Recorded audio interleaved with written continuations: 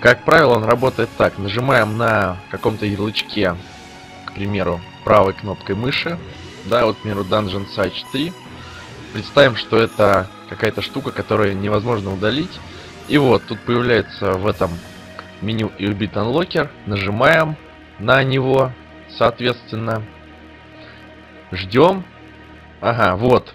Открывается вот такое вот окошечко. Открывается такое окошечко.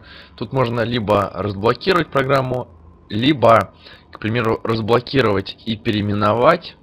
Это нужно для того, чтобы, допустим, есть какие-то вещи, которые невозможно переименовать, как вы знаете. При попытке их переименовать, как всегда, выдает ошибку. Там нужно как-то напрягаться, перезагружать камп, в безопасном режиме заходить. Сами знаете. С помощью Bit Unlocker можно сделать это не в безопасном режиме, а просто так, в принципе, никаким серьезным последствиям это не приведет.